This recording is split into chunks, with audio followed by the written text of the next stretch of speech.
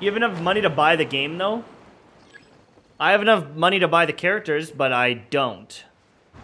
Explain that one. I could save myself a lot of time, but I don't. Why?